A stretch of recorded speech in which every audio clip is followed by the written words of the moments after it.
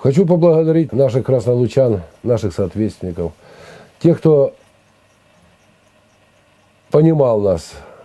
Тяжело было переломать систему, многие обижались, многие э, высказывали по поводу празднования Нового года. Ну, спасибо вам, то, что вы за поддержку, за понимание. Вот. Все прошло очень отлично, как вы все это заметили. Вот. Можно обойтись без пьянок, без гулянок. Вот. Потому что нехорошо, когда еще смерть гуляет, а некоторые веселятся. Вот. Зато тем, кто выдержал, увидите, как Господь передаст чудеса на Рождество. Всем хочу вас поздравить с наступающим Рождеством вот, Христовым. Я думаю, все те, кто выдержал Новый год, праздничество, вот, в рождественские получат и подарки, и увидят своими глазами наконец-то чудеса. Вот. Хоть говорят, чудес не бывает, неправда. Все увидите.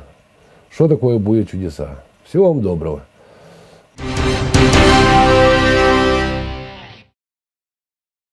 Для получения социальных выплат инвалидам с детства и детям-инвалидам необходимо в Управлении труда и социальной защиты населения написать заявление о переходе из УТСЗН в органы пенсионного фонда.